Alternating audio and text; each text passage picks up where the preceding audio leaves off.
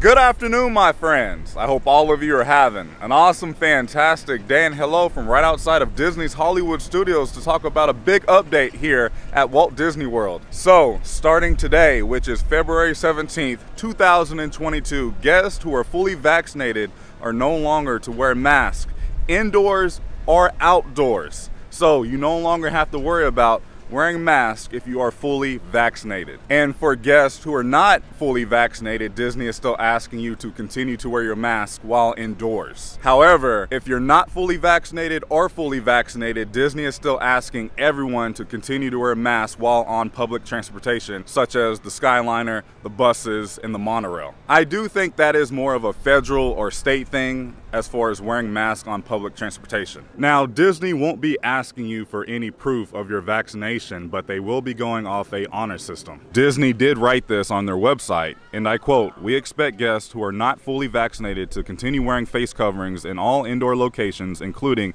indoor attractions and theaters." And this new updated policy is coming just days after Universal Orlando updated their mask policies over there. Also, this goes for Disneyland guests as well over on the West Coast. As you guys can see, as I'm about to head inside Mickey's of Hollywood, which is the gift shop here at the front entrance, there's no more signs of any kind regarding masks.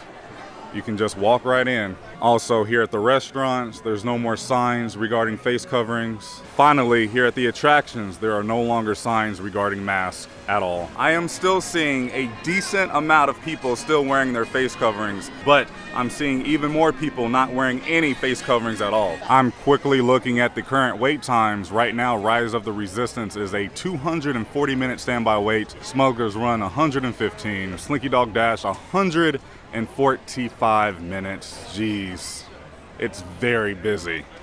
There's no longer a slow season at all. Here's my own thoughts and opinions here. I'm so glad to hear that it is now your option if you want to wear a mask or not when you're here on your Disney vacation or your Orlando vacation. And I like that freedom of choice. I think it's long overdue, especially now that cases aren't as high. I mean, COVID is still a thing, but hopefully we don't have a surge or a spike. I think if you're coming here for your Disney vacation through this year, you don't have to worry about wearing a mask, which is nice. I'm starting to wear my mask a little less, but I do tend to keep it on a little bit more just because I am around a lot of people every single day. Plus we have some travel plans coming up. But when I am around like a lot of people conjugated all in one place, I, I'm going to wear my mask. But I am fully vaccinated and boosted, so that is starting to make me feel more comfortable inside of the parks. Plus, cases are just pretty low right now here in Florida. That is all that I have for you guys in this very quick video. I just wanted to stop here at Hollywood Studios before my meeting just to bring you guys this new information to keep you guys informed. But please feel free to leave me comments down below. Let me know how you guys feel about this new policy. Are you guys relieved, glad, do you hate it? I love you guys. Thank you so much for watching and YouTube. I will see you in the next video. Prince Charming out. Goodbye.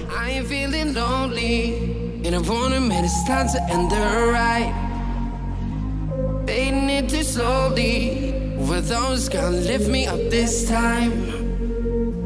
You were the only one who got me tripping up inside.